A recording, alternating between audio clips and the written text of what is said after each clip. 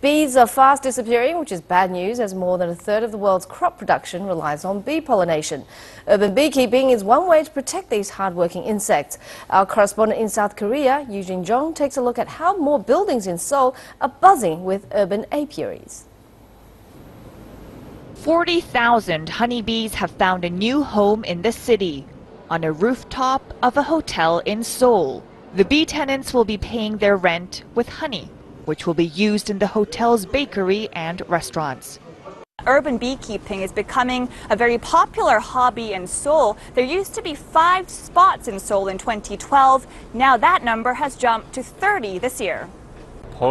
Urban beekeeping is growing because South Korea's bee population has been disappearing and because keeping bees naturally improves the city's environment.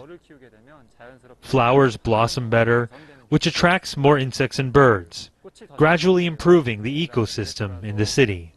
In 2010, up to 90% of South Korea's local bees were wiped out, which experts believe was caused by a disease, as well as the use of pesticides and modernized agricultural practices in the countryside.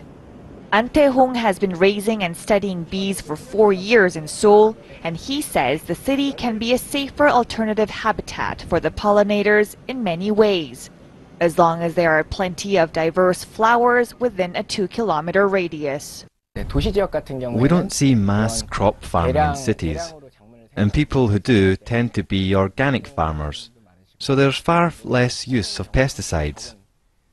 And the city is warmer, which means there's a higher chance for bees to survive the winter to make honey again in the spring. Honeybees can also be a pretty good barometer for the health of our environment. So bee experts say, by saving them, we're also saving ourselves. Eugene Jung for CCTV, Seoul.